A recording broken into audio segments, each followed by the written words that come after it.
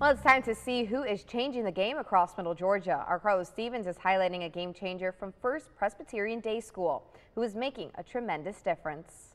For Cody Strandmark, the love for baseball took root at a tender age, nurtured by the bond he shared with his little brother and parents.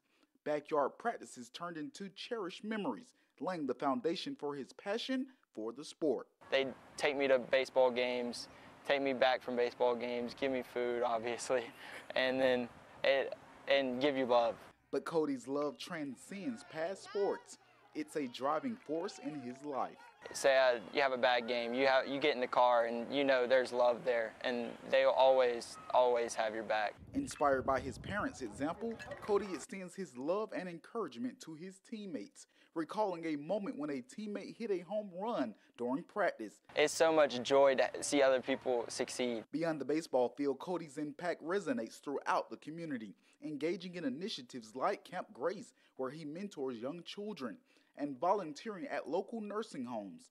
Cody embodies the essence of compassion and service. It's very hard to be by yourself in life now. It, it, you have to have people around you. So I think having people around you that love you is, it, you can't do anything without it. During our interview, Cody's emotions surface, but they're not born of sadness.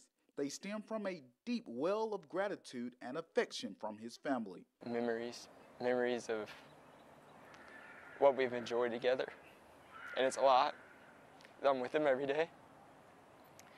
But a lot of memories. Just love. I would say happy tears. Very happy tears. And that is your game changer of the week. Congrats, Cody. Central Georgia, keep those nominations coming on my platforms on your screen. Reporting in Macon, I'm Carlos Stevens, WGXA Sports.